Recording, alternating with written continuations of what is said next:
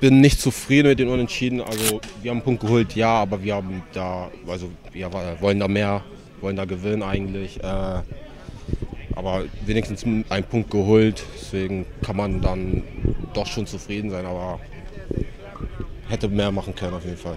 Ja, also wir können uns eigentlich nichts vorwerfen. Wir haben hier gekämpft, haben hier uns sehr viele Chancen rausgespielt, auch hundertprozentige, haben die dann nicht gemacht. Haben dann mit den beiden Gegentoren natürlich mehr als Pech. Dass der eine da abgefälscht irgendwie reingeht noch unter die Latte.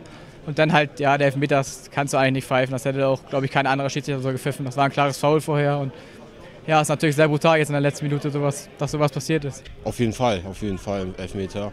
Äh, was davor war, kann ich leider nicht beurteilen. Beide gehen hoch in die Luft. War für mich ein normaler Zweikampf. Deswegen alles regelgerecht. Also hat der Schrie gut gemacht, auch gut gesehen.